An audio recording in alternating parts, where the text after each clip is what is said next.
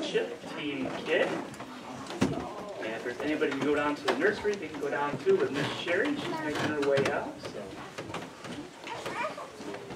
we'll be in prayer for the junior church nursery during this time well. Bud mentioned during that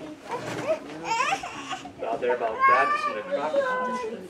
A joke I heard a while ago, and it's one thing I always remember. There's a teacher, and she sent her students home with homework assignments. And your homework assignment, they're learning about religious history. They go home, talk to your parents, talk to your grandparents, and bring in something from home that is a distinguishing feature of your religion.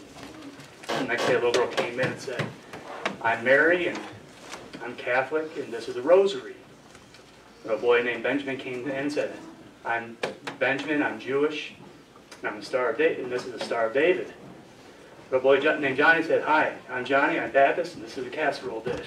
so that's something, I, I forgot who said that, but it always kind of stuck with me. But we're going to be back in the book of Matthew today. We began a series last week entitled, Don't Be a Pharisee.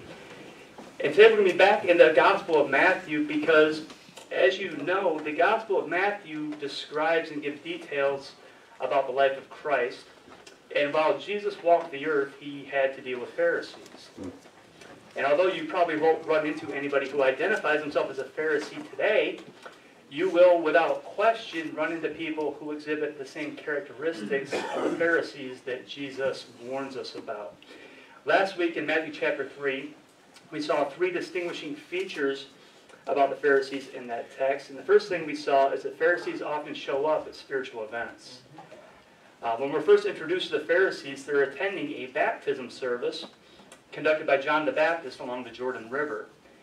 And people with that Pharisee mindset have been attending or showing up at spiritual events ever since. They show up at church, they show up at services, but they show up with the wrong attitude and the wrong motivation. And part of the reason why they have that wrong spirit is because we saw last week is that the Pharisees found their righteousness in themselves. Mm. Yes. If you remember from last week, the Pharisees thought they were better than other people based on their history. They said, well, we have Abraham to our father. So we're better than other people. And they thought that somehow made them superior or more spiritual than others. And we saw that that mindset of acting like you're better than someone else acting like you're the only one doing it right and everyone who doesn't do it just like you do it is wrong. We saw that John pointed out and said that's dangerous. Mm. If remember, he called them a generation of vipers. He called attention to their wrong attitudes and their wrong motivations and their wrong practices so that the new believers that had just gotten saved and baptized would understand that no matter how spiritual some people try to present themselves to be, the Pharisee mindset was to be avoided at all. And we saw last week, without question, there are some people who present themselves to be spiritual. They look spiritual on the outside. They talk spiritual. They dress spiritual, that's even a thing. But they're dangerous. They have dangerous doctrines. They have dangerous teachings. Today we're going to be in Matthew chapter 9, and we're going to see more of the most distinguishing features of the Pharisees. And today what's going to be interesting is we saw John's response to the Pharisees last week. Today we're going to see Jesus' response to the Pharisees. And once again, the purpose of the study isn't to just point out what was wrong about the Pharisees. The goal is to protect ourselves from falling into the same actions and attitudes that they demonstrated. Because we need to be on the lookout to not allow those types of characteristics to be per permitted or promoted in our own lives or in our own church. Now, Jesus has a lot to say about the Pharisees in this text, so we're going to read the first 17 verses today to try to get a more full and complete idea of not only the information presented here in this text, but I want to spend some time looking at the illustration that Jesus uses to address these issues, and we'll see how that illustration is relevant for us today. So if you're able to, I invite you to join me in standing out of the honor of reading God's Word. If you'll find Matthew chapter 9, and we'll begin reading in verse 1 down through verse 17 starting in verse 1, it says, And he entered into a ship and passed over and came into his own city. And behold, they brought to him a man sick of the palsy, lying on a bed. And Jesus, seeing their faith, said unto the sick of the palsy, Son, be of good cheer, thy sins be forgiven thee. Hmm. And behold, certain of the scribes said within themselves, This man blasphemeth. And Jesus, knowing their thoughts, said, Wherefore think ye evil in your hearts? For whether is easier to say, Thy sins be forgiven thee, or say, Arise and walk? But ye may know that the Son of Man hath power on earth to forgive sins, then saith he to the, sick of the palsy, Arise, take up thy bed, and go to thine, to thine own house. And he arose and departed to his house. But when the multitude saw it, they marveled and glorified God, which had given such power unto men. Verse 9 And as Jesus passed forth from thence, he saw a man named Matthew sitting at the seat of custom, and he saith unto him, Follow me. And he arose and followed him. And it came to pass, as Jesus sat at meat in the house, behold, many publicans and sinners came and sat down with him and his disciples. And when the Pharisees saw it, they said unto his disciples, Why eateth your master with publicans and sinners? But when Jesus heard that, he said unto them, They that behold need not a physician, but they that are sick. But go ye and learn what that meaneth. I will have mercy and not sacrifice. For I am come, not come to call the righteous, but sinners to repentance. Then came to him the disciples of John, saying, Why do we and the Pharisees fast oft, but thy disciples fast not? And Jesus said unto them, Can the children of the bridegroom or the bride chamber mourn, as long as the bridegroom is with them? But the days will come when the bridegroom shall be taken from them, then they shall fast. No man putteth a new cloth into an old garment, for that which is put in fill it up to take it from the garment, and the rent is made worse. Neither do men put new wine into old bottles, else the bottles break, and the wine runneth out, and the bottles perish. But they put new wine into new bottles, and both are preserved. Let's open with word prayer. Heavenly Father, we just thank you so much for the opportunity to come into your house and do what we're doing today. Amen. Lord, it is a blessing to, to be here after a week that has been very difficult for many of those in our church family. Yes. After a, a week that has uh. been very difficult emotionally. Yes. A a week that many of our people are continuing to struggle physically. Yes. Lord, it- we were, we count it a privilege to be able to be here, to meet with each other, and to think of those who are unable to be with us and lift them up to you in prayer. And, and Lord, we, we thank you that we have the privilege of holding in our hands your perfect, holy, preserved word. And Lord, we don't have to wonder if it's true. We don't have to wonder if it's trustworthy. We don't have to wonder if it's relevant for, relevant for us today. Father, we know that it is. Yes. And Father, we're, we're looking at a very familiar passage of Scripture today. And Holy Spirit, we know that we cannot understand anything without your help. We are not smart enough on our own. We are not good enough on our own to be able to discern anything Yes. without you giving us illumination. Amen. So I ask you to, to speak to us as we look at this text. I pray that you'll shine a light on this familiar passage of Scripture that we might feel like we already know and reveal something new to us today. Amen. Reveal to us not what we've always heard from this passage, but reveal to us what you want us to learn today from this passage. Amen. Lord, as always, nobody needs to hear from me. And the Holy Spirit, I ask you to, to please keep me from saying anything that would be of my own will or my own volition. Yes. I pray that everything that's done today will be for the sole purpose of edifying and encouraging those that are here mm. today, those that are listening online, and for exalting our Savior Jesus Amen. Christ. And Amen. it's in His name we pray, in the perfect, precious, Yes. powerful name of Jesus. Everyone said, Amen. Amen. Thank you for standing. You can take your seats. This is a very important passage for us to not only be aware of, but also to understand. Because this is a passage of Scripture that most Christians are aware of. We know that this passage exists, but we don't always dig into to try to understand how it applies to us. Last week we saw in Matthew chapter 3 the very first mention of the Pharisees in the Bible. And we saw their three identifying features. We saw they show up at spiritual events, they show up where Jesus is. Their righteousness was found in themselves, and their teachings or attitudes were described as being dangerous. And today we're going to see some of those dangerous attitudes that are presented and revealed in this text. The Pharisees are first mentioned back in chapter 3, but it's here in our text today that they really start looking for ways to oppose Christ and his teachings. And if you know anything about the life of Christ, this is this text is the beginning of the Pharisees following him around and becoming a thorn in his flesh to try to thwart the work of God on earth. They become a thorn in the side of Jesus. They become a thorn in the side of his disciples, and they become a thorn in the side of all, the, all those who continue to try to follow him. And I just want to point out three things today about what this text says about the Pharisees. But we're also going to look at how Jesus responded to them and how his response applies to us. And the first thing, if you're following along on the back of your bulletin, there is an outline for today if you'd like to follow along or take notes. And the first thing that we see today is their opposition to Christ. In verse 3, we see them starting to look for reasons to oppose Christ. Now, back in, in chapter 3, when John called them a generation of vipers, they don't really respond. Okay, they remain relatively quiet. But now they come and they confront Jesus, and they come back with more vitriol. They come back with, with an agenda.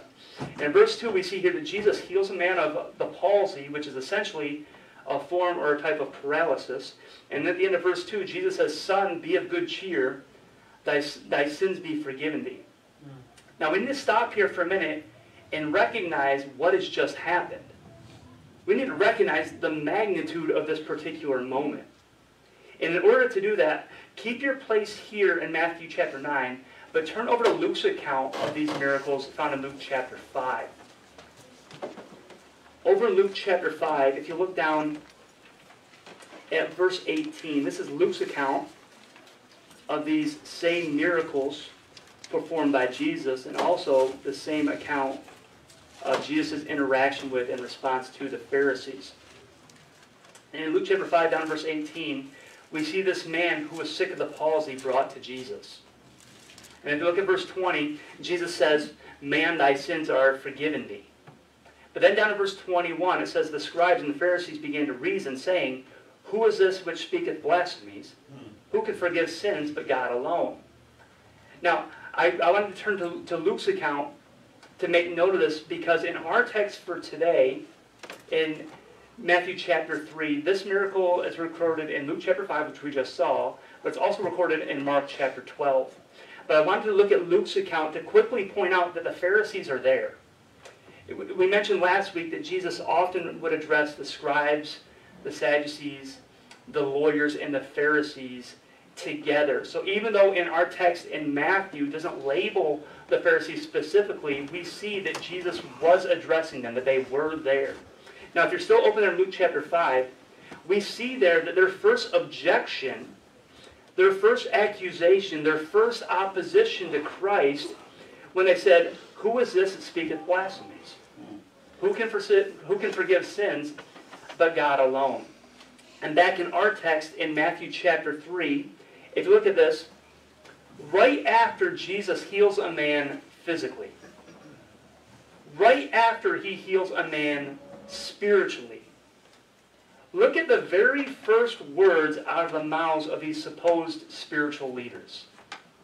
Their first response in verse 3 is an accusation. They said, This man blasphemeth. Now, why is this such a big deal? Well, if you look ahead to verse 6, Jesus said, The Son of Man has power on earth to forgive sins. Mm-hmm. But they accused him of blasphemy. And in doing so, they rejected both his kingship and his sonship. They rejected his power to forgive sins. They, they rejected that he was actually God. And they rejected that he was the Son of God, that he actually was the Messiah. And we see the quote unquote spiritual people who have just witnessed, they have just observed firsthand. Yes. Jesus performed Amen. a miracle by healing this paralyzed individual. Amen. They've seen this man healed from his physical condition and saved from his spiritual condition. And Jesus said in Luke chapter 15, verse 7, that there is joy in heaven when one person yes. gets saved. Yes. But look at verse 3. Instead of rejoicing, hmm. instead of celebrating, we find the Pharisees accusing Jesus yes. and opposing his working. Hmm. And here's where we have to pause for a minute for application and realize that anytime Jesus works in someone's life, anytime we see God do something only He can do, and only God can heal, mm-hmm. Only God can save people. Amen. And if we see God do awesome things in the lives of others, if our first reaction is not to celebrate and praise God and give glory to God, then guess what? We're more like the Pharisees than what we realize. Yeah. Amen.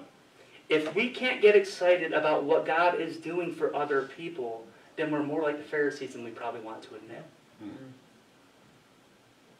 And then we look back at the text, we have to ask, well, why weren't they excited about what Jesus was doing? Why weren't they jumping for joy over what Jesus was doing? Because he was doing things in ways they had never seen or done before. And we need to be careful that when God does something for another person or another church, if there's a church where people are making professions of faith and they're seeing people get saved, if our first inclination is to question their methods instead of praising God, then we're more like Pharisees than we want to admit. Hmm. Now, we just finished up a series a couple weeks ago about getting fired up for God. And one of the keys that we saw to doing that was to get fired up about the things that God is fired up about. And without question, God is fired up about people. Yeah. He loves people. He gave his son to die on the cross for people. Jesus said he came to seek and save the lost. He was all about people. There is nothing that brings God more joy than when somebody gets saved. And here we have the Pharisees who witnessed that. Yes. They saw the single act that brings God more joy than anything else. They saw this man get saved, but they weren't celebrating. Hmm. And if we can't celebrate over what God celebrates, if we can't rejoice in what heaven rejoices over, then we're probably guilty of being more like the Pharisees than what we want to admit. And here's the underlying issue. They didn't celebrate or rejoice in what God did. Because even though they seemed spiritual, even though they looked spiritual, even though they acted spiritual, they were actually opposed to Christ. Hmm. And that, that opposition to God was revealed in a very telling way. It was revealed in how they reacted when God healed and saved someone. When someone gets healed of some physical affliction, what is your response? Do you care? Do you even notice? Hmm. Do you rejoice on behalf of that person? Amen. When someone gets saved, what is your response? Yeah. Do you celebrate? Hmm. Or do you, as we see in verse 3, do you secretly say within yourself, well, that's not the right kind of church? they don't have the right standards. They don't use the right Bible. They don't have the right music. If your first response to hearing about someone getting saved is anything less or different than praising God, then you're probably more like the Pharisees than what you really want to. Yeah. Amen. Amen. Before we move on to the next point, we have to ask ourselves, how does your response to what God does for other people reveal about your response to Christ himself? Because we see here the Pharisees didn't rejoice. They didn't celebrate based on what God had done for this man. Because the Pharisees were opposed to God. They didn't celebrate what God did because he didn't do things the way they thought they should be done. And clearly, if you're for God, you should celebrate what God is for. Now, I'm not saying that if you don't run around and get all excited when you hear about somebody getting healed or saved, that you're a Pharisee. I'm just pointing out that if you don't get excited and praise God when you hear about someone getting saved or healed, your response is the same as the Pharisees. Hmm. Right. And whether you intend it to or not, your response to God's working in people's lives can be the same exact response as this group of people that Christ warns about to avoid. So first we see the Pharisees' opposition to God. Next we see their separation from people. In verse 9 it says, And as Jesus passed forth from thence, he saw a man named Matthew sitting at the receipt of custom. And he saith unto him, Follow me. And he arose and followed him. And it came to pass, as Jesus sat at meat in the house, behold, many publicans and sinners came and sat down with him and his disciples. And when the Pharisees saw it, they said unto his disciples, Why eateth your master with publicans and sinners? So once again, we see something take place that should have excited these quote unquote spiritual people. Yes. In verse Yeah. 9, it says that Jesus called a man named Matthew to follow him, and he did. Amen. That should excite us. Right. We should get pumped up. We should get fired up. We should get psyched up. We should get, we should geek out. Uncle Gary said, I don't know what the kids say. I heard a kid say geek out. We should geek out when people follow Christ. And here we see something awesome.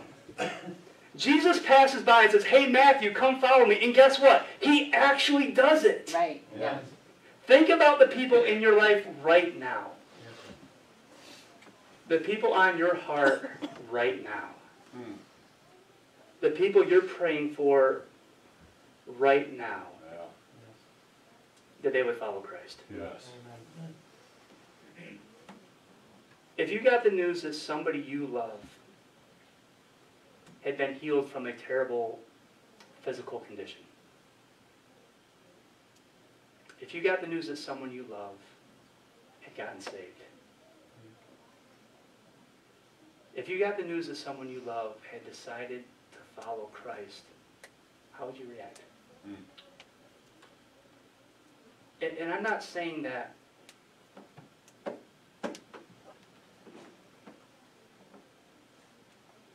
for any other purpose, because, other than to be honest, there are some people I'm praying for right now for God's healing. Yes. Yes. Amen. There are some people I'm praying for right now to get saved. Yes. Yes. There are people on my heart that I've been praying for for a long time that they would turn, that they would follow Christ, or that they would turn back and start following Him again. Yes. Amen. And I can't say with certainty how I would react or how I would respond if God healed my mom of cancer completely. Yes. Amen. I don't know how I'd respond if God restored Cheryl's health completely. Amen. If God touched Milton's body and just completely healed him. Yes. If God touched baby Charlotte and little Gus, Yes. we've been praying for, Amen.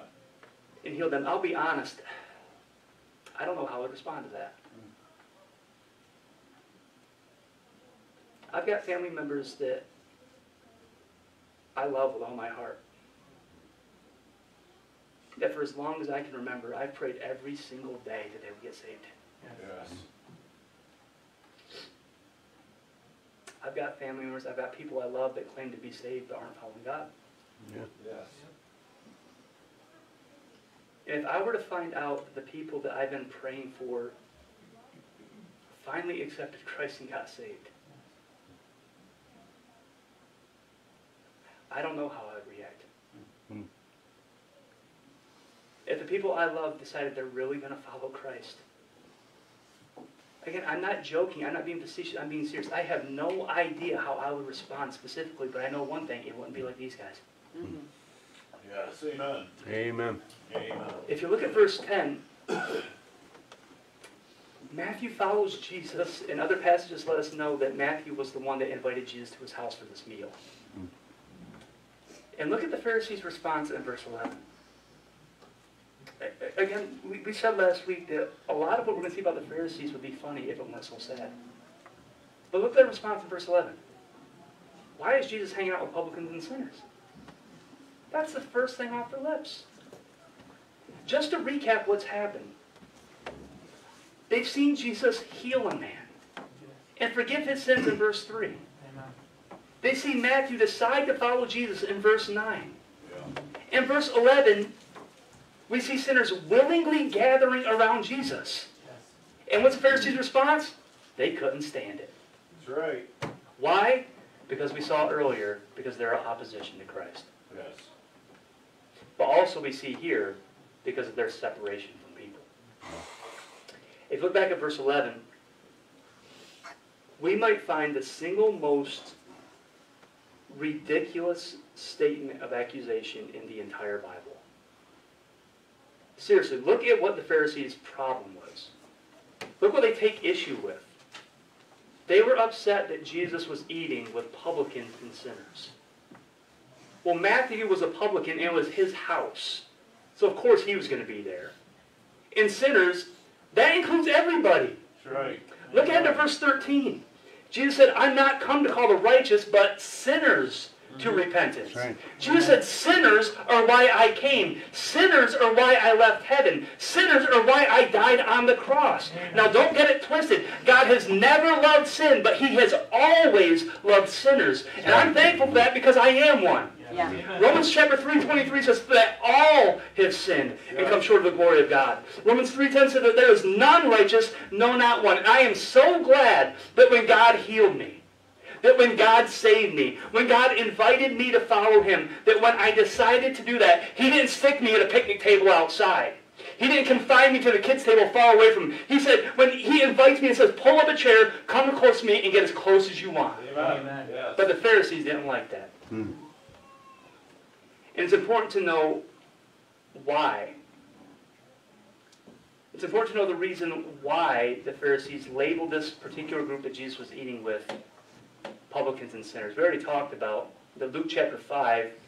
Matthew is referred to as Levi, and he was a publican or a tax collector. Mm-hmm. And then down, I think in around verse 27, Luke chapter 5, it says that Levi or Matthew made a great feast in his house and invited Jesus. So Matthew literally was a publican. That was his job.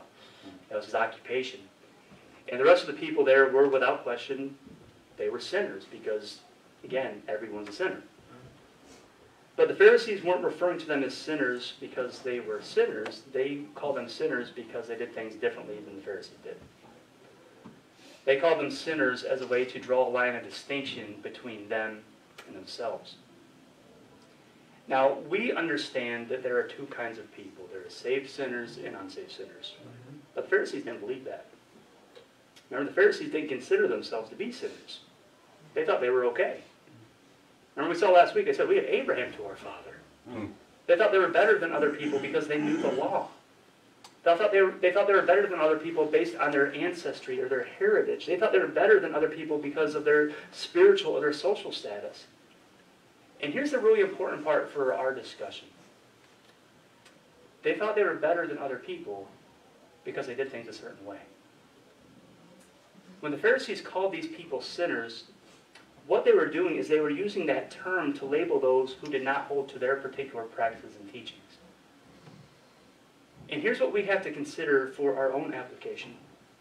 None of us, hopefully, would call other people sinners in the way the Pharisees did, while basically acting like, as if we're not sinners ourselves. And, and to their credit, most Christians don't do that. Most Christians understand that we're simply sinners saved by God's grace. Amen. Yes. Amen. But although we might not label people the same way Pharisees did, we have to be careful not to separate from people the way Pharisees did. Now, this is a touchy subject. and I'm going to try to handle it carefully and sensitively, but I'm going to handle it biblically. And there are some things that need to be pointed out. Some people, whether they intentionally decide to do it or if it just kind of happens in their lives, live their lives in a spiritual bubble, so to speak, where they only hang out with, talk with, and do life with people who look, act, and believe just like they do. They go to church and their only friends are at church. Their families at church. And church becomes their only source for socialization and relationship. And let me say this, it's great that our church feels like family. It should feel like a family. That's what God intended. We're all, all part of the family of God. Yes. Right. But it needs to be pointed out that isolation from everyone who don't believe the exact same way we do is not what God intended, and that's not the life that Jesus demonstrated. Right. In Matthew chapter 11, verse 19, if you want to turn there yourself or write it down, Jesus himself describes himself as a friend to publicans and sinners. Mm-hmm. Right. It, it, I, I said I'm going to be sensitive, and, I, and I'm going to be. But this next statement might sound a little harsh, so I'll apologize in advance and ask you to just kind of give me the, the a moment to explain what I mean by this statement. Jesus called Christians a peculiar people, but he didn't say that we're supposed to be people that the world looks at like a bunch of weirdos. Right. That's right. In some churches, even Christian churches, even cr- churches that have saved people in them, Hmm. take on the feel of cults. Yes. They only talk to each other. They only interact with each other. The kids in the church grow up and marry each other. There is no connection to anybody outside their church. And can I just say something personally? Not biblically, just me talking? That's creepy. Yeah. That's weird. I'm a Christian, and that's weird to me. Hmm. And listen, I love the church more than almost anything. But the church is God's design to reach the world, not to hide from it. Right. Right. The church is God's plan for salvation for sinners, not isolation from them. Yes. Mm-hmm. And I can already anticipate some of the angry texts and emails. what about 2 Corinthians 6.17 where it says, Wherefore come out from among them and be ye separate, saith the Lord, and touch not the unclean thing, and I will receive you. Ask yourself, do you really think that what God is saying is to hunker down with your friends from church and separate completely from lost people? It had nothing to do with unsaved people? Is that really what we think God's saying? Does that sound like the intention of a God whose express purpose is to seek and save the lost? Right. And people like to use that verse as their justification for hyper separatism, to separate from everyone who doesn't worship like they do, or dress like they do, or use the same version of the Bible they do, but they don't read it in context. The verse before it says, In what agreement hath the temple of God with idols? For ye are the temple of the living God, as God hath said, I will dwell in them and walk in them, and I will be their God, and they shall be my people. What God was saying was, don't worship idols. He wasn't saying, don't interact with sinners. He, he wasn't saying don't have anything to do with people or churches who are saved but don't practice the same way you do. That's not what God said. Mm-hmm. Now, verse 14 of that text does say, Be ye not unequally together with, with unbelievers. For what fellowship hath righteousness with unrighteousness, and what communion hath light with darkness? But being yoked with unbelievers is a completely different discussion than having fellowship with believers who have different standards than what we have. Right. And it's completely unrelated to not having interaction with unbelievers. Yoked literally means joined together, completely connected. Now, obviously, it's not wise for Christians to enter into physical relations such as marriage with someone who isn't saved. The Bible makes that Right. clear. Right. But there is no way you can take that verse in context and use it to justify completely isolating from unbelievers or staying away from Christians who don't believe the same way you do. You mm. can't do it and keep that verse in context.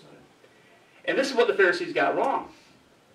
And this is what a lot of churches and Christians have gotten wrong. Look at verse 13 here in our text in Matthew chapter 9. These aren't my words, these are Jesus' words. If you have a problem with it, take it up with him. Jesus said he didn't come for the righteous, he came for the sinners. Amen. As a church that exists to glorify God, we don't exist for people who are already saved. Right. We exist for the people who are not yet saved. Right. Amen. We don't exist solely for saved people. We exist for the lost. Yes. And if lost people don't feel comfortable in our church, if lost people don't feel comfortable around us as Christians, there's a problem. Because when we look back at verse 10, lost people felt comfortable around Jesus. Mm-hmm. And Jesus was equally as comfortable around them. Mm-hmm. Now, this is not to say that we should condone or accept sin. That's not what I'm saying. And we're going to see how Jesus responds to sin in particular later in this series. But our mission is not to get is not to gather together with people who are, are already saved and worship God and praise God with people who already believe and practice just like us. That's great. That's an important part of our purpose, but there's an even more important part of our purpose, and that's to seek and save the lost. And see, the Pharisees had a problem with Jesus spending out. How are they going to hear about Jesus unless we're willing to meet them where they're at and sit down with them, accept them, and treat them the same way Jesus did? That's right. Amen. So we see two things about the Pharisees. We see their opposition to Christ. We see their separation from people. And now we're introduced to a different group of people that come to Jesus. And in verse 16, we see a thought-provoking illustration from Jesus. In verse 14, it says, Then came to him the disciples of John, saying, Why do we and the Pharisees fast oft, but thy disciples fast not? Now, this is important because we have to understand the context of this question. When the Pharisees said in verse 3, This man blasphemeth, and in Luke's account, in Luke chapter 5, verse 21, where they asked, You know, who is this that speaks blasphemies? Who can forgive sins but God alone? They, the Pharisees weren't asking questions because they sincerely wanted to know why Jesus was doing these things. Hmm. They already had their mind made up about Jesus. They refused that he was the Son of God. They refused that he was, had the power of God on him. That's right. They, they didn't like him and they were opposed to him and were going to reject everything about him because his teachings didn't line up with theirs. But in verse 14, we see here the disciples of John the Baptist. They come to ask Jesus a question, and the difference is they were sincere. The Pharisees asked, Who is this who speaks blasphemies? Who can forgive sins? Who does Jesus think he is? But the disciples of John asked, Why? Why are you doing this differently? And Jesus' response is very telling. When the Pharisees questioned Jesus out of contempt in verse 4, it says that Jesus knew their hearts, and he said, Why think ye evil? But when John's disciples asked him a genuine question, he responds by explaining it to them using an illustration. And can I just say, it, it's never okay to question if God is who he says he is. But it is okay to ask God why when you don't understand something. We saw last week in James 1.5 says, If any of you lack wisdom, let him ask of God to give all men liberally and upbraideth not. If you genuinely and sincerely don't understand something, the Bible says, ask God. He'll give you wisdom. And, and he won't rebuke you. He won't make you feel guilty or ashamed for asking. Hmm. And their question, the question here of John the Baptist, his followers, was, well, how come we and the Pharisees fast a lot, but Jesus, how come your Pharisees, how come your followers don't fast like we do? Hmm. And the natural question, at least it was to me, was, well, if these are John the Baptist followers, why aren't they asking this to him? But it's because John the Baptist was in prison at that time.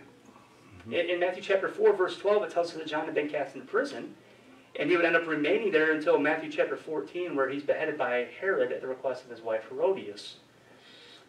That's another thing. A husband named Herod and a wife named Herodias. That's like me having being named Garrett and have a wife named Garetius. I, I don't know. I don't know if I could do that personally. But anyway, John's in prison, and what's interesting here is that just a couple chapters later, in John chapter 11, John the Baptist himself sends messengers to Jesus wanting to know more about why Jesus is doing Yep. what he's doing. Yep. So it's not it's not a problem to ask Jesus why. It's okay to ask for clarification. So John's disciples come to Jesus and they want an explanation of why Jesus did di- things differently than what they had seen done before. They believed in Christ, but they practiced differently than what they were observing him do. Yes. And Jesus uses an illustration in verses 15 to 17 to explain that his ministry was different from both the Pharisees and John the Baptist ministry. Hmm. If you look at verse 15, after they ask him why he's doing things differently than they did, look, I want to draw attention to the illustration that Jesus uses. Verse 15, it says, And Jesus said unto them, Can the children of the bride chamber mourn as long as the bridegroom is with them? But the days will come when the bridegroom shall be taken from them, and then they shall fast. Verse 16, No man putteth a piece of new cloth unto an old garment, for that which is put in to fill it taketh from the garment, and the rent is made worse. Verse 17, Neither do men put wine into new bottles, else the bottles break, and the wine runneth out, and the bottles perish. But they put new wine into new bottles, and both are preserved. Now, the key word in this illustration and in these verses is the word new. Hmm. If you look at verse 16, Jesus references a new cloth. In verse 17, he talks about new wine. He talks about new bottles. And in doing so, he both exposes the Pharisees while explaining his mission. Jesus was explaining to, to the disciples of John that he was introducing something new.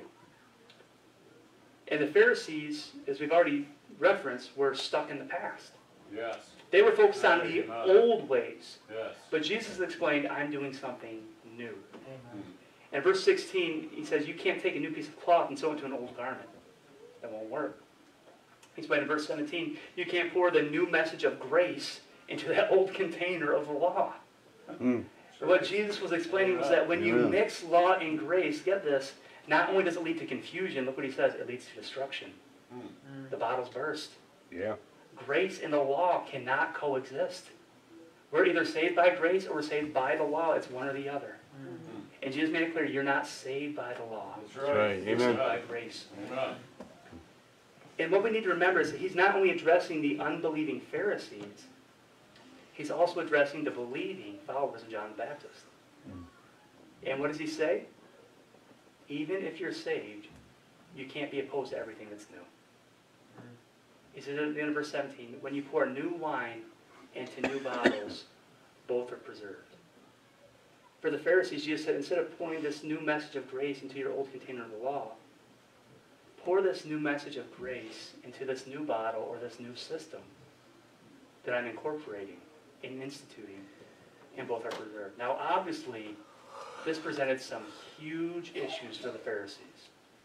The Pharisees loved the old system of being under the law. They lived under the old system of being under the law. And because they held so tightly to the old ways, they would never experience the new things that God wanted to do. See, the Pharisees were against anything new because they were opposed to change. John's disciples, we see, were open to change if it was for God's glory. Yes. The Pharisees were opposed to change, any type of change, just because it wasn't what they were used to. Mm. It wasn't what they wanted. It wasn't what they were familiar with. Yeah. That's right. Amen. And here's the thing we have to understand. Some Christians and some churches are opposed to change too, even though we see that change was a central part of Christ's life and ministry. And the application for us today is pretty straightforward.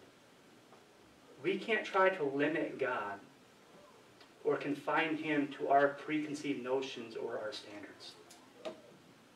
And listen, we are an independent, fundamental, Bible-believing church. We should be. Mhm. All churches should focus on the fundamentals of the faith and believe what the Bible says. Yes. Amen. But much of what identifies some churches that claim to be fundamental has very little to do with actual biblical fundamentals. Right. Yes. That's right. If you were to ask the average Christian, even ask the average saved person, well, what does fundamental mean? They'd probably say something like, like, well, they use the old Bible and they sing the old songs. Hmm. and there's something to be said for traditional hymns that have a strong spiritual message. Yes. But we shouldn't avoid or dismiss newer songs that have a strong biblical message either. Right. And sometimes in our circles, we hear things like, well, if it's new, it ain't true. Or people will quote, well, there's nothing new under the sun. Well, if you read Ecclesiastes, what Solomon is referring to, he's talking about the trials and challenges of humanity. Mm-hmm. They've always, life's always been difficult. He's not talking about singing new songs. Now, I don't want to step on anybody's toes, but we do have to realize that Amazing Grace was a new song at one point. Mhm. It was contemporary in the day in which it was written. And we have to be careful not to take the posture that the Pharisees took, where older is better, and the older it is, the better it is. Because Jesus made it clear here to the Pharisees and to John's disciples when it comes to spiritual things, older isn't always better. I'm glad we're not under the law. Yeah. Amen. I'm glad we don't have to bring animal sacrifices to offer for our sins anymore. Yes. But we have to be careful not to try to fit God and the new things He might want to do into our perception of what He's allowed to do. Yeah. That's what Pharisees did. And that's when why Jesus went out of his way to explain this question to the genuine believers that asked him. So when we look back at verses 15 through 17, why is this illustration so important? Why do we need to really get this? Well, we saw last week that only 5% of those in ages 18 through 35 are active in their faith. Remember, we had all the kids up here on stage. We had a lot of kids here last week. Praise God, we had a lot of kids last week. But we had everybody except for one go back down and sit with their parents. And what the question was, is this what we want to show for our life and ministry? After years of being here, do we want that these kids to grow up and leave the church and be left with one out of 20? Is that what we want? Two thirds of children and teens that grow up in the church stop attending completely between the ages of 18 and 22. Almost 70% of 18 to 29 year olds that grew up in church withdraw from church involvement as an adult. And do we remember the reasons that they give? They perceive the church to, to be judgmental, hypocritical, and irrelevant. Who does that sound like? Pharisees. Yes. Judgmental? Absolutely. Hypocritical? When we see next week, God called them, Jesus called them hypocrites eight times in the series, about 13 verses. Yep. Well, weren't you scribes and Pharisees hypocrites? And did they hold to practices that weren't relevant? Absolutely. Yes. That's right. Now, Jesus didn't include this just for the Pharisees. We see that believers can learn a lot from this illustration too. Jesus came to make it clear to both the unsaved Pharisees and the saved believers of John the Baptist, followers of John, that he was initiating change. Now, we bring this up, and I'm not talking about compromise because Jesus wasn't talking about compromise. Right. I'm talking about change because Jesus talked about change. Right. And understand, this is coming from someone who does not like change. Amen. But if that's the posture that I take spiritually, then I miss out on the main point of Jesus' life and ministry. He came to change things. He came to do new things. In John chapter 1, verse 29, he presented a new sacrifice. He said, Behold the Lamb of God that takes away the sin of the world. So look, those old sacrifices are irrelevant anymore. You don't got you don't got to do that. In John chapter 2, he, he presents himself as a new temple. He said, Destroy this temple, and in three days I'll raise it back up. Mhm. Yep. Referring to his body. That's right. In John chapter 3, he talked about a new birth. He told Nicodemus he must be born again. Remember, we saw last week the Pharisees were proud of their birth. they're proud of their heritage. He said, We have Abraham to our father. He said, That's not what matters anymore. John chapter 4, he talks to the, the woman at the well about a new type of worship worshiping God in spirit and in truth. John chapter 5, he presents a new Sabbath where Jesus deliberately healed a man on the Sabbath. I love that. This man had been, it it said he'd been burdened with affliction for 38 years. He could have waited one more day. Jesus healed him specifically on the Sabbath and say, you know what? The Sabbath isn't what matters anymore. That's right. I'm bringing something new. I'm doing something new. Hmm. In John chapter 6, he, he refers to a new manna where he said that I'm the bread of life. That was, that was hard for the Jews to understand because they knew about manna. That's what he's saying. He said, look, you don't need that old manna anymore. I got something new for you. In verse 7, he presents himself as new water. He says, whoever is thirsty, let him drink. As the scripture said, out, out of the, his belly shall flow rivers of living water. Yes. And in John chapter 8, he presents a new light. Now, the, G- the Jews knew all about the pillar of fire that had guided them in the wilderness, but Jesus went on his way and said, Look, I'm not just the light of the Jews, I'm the light of the world. Amen. Mm-hmm. Amen. And these were all teachings that we know and we understand, but we have to understand these were completely radical teachings to the Jews and Pharisees. In John chapter 10, verse 16, Jesus talks about a new flock, where he says that there's going to be one flock and one shepherd. And here's the thing if there are believers that actually believe in Christ, that worship differently than us, guess what? We don't need to draw lines of delineation and say, well, they're part of that tribe or that flock. No, we all have the same shepherd, which means we're all the same flock. We need to stop for looking for reasons to separate from other believers. That's nonsense. Hmm. That's ridiculous. In John chapter 13, he says a new commandment that covers all the other commandments. A new commandment I give you that you love others as I've loved you. Hmm. John verse 15, he, John chapter 15 rather, he presents himself as a new vine. Now in the Old Testament, the Jews were the vine, but Jesus said in John chapter 15, I am the true vine and you're the branches. In John chapter 18, he presents a new kingdom. He told Pilate, my kingdom is not of this world. That's right. None. And what Jesus was saying to the religious leaders of his day was that everything is new, but it comes out of the old. But if nothing ever comes out of the new, God's work doesn't go forward. And there's a key text to guide us as we look how to apply these teachings to our lives. Because let's admit, most of us don't like change. Most of us, most of us like church the, the same way we've always had church. Most of us like our preferences, we like our priorities, we like our standards. Because we need, but I, I love that Jesus gives us a verse to guide us through difficult things like this. Because if we're opposed to change just because it's different, guess who we're identifying with? The Pharisees. But if you keep your spot here, turn just a couple chapters, Matthew chapter 13, verse 52. Matthew chapter 13, down to verse 52.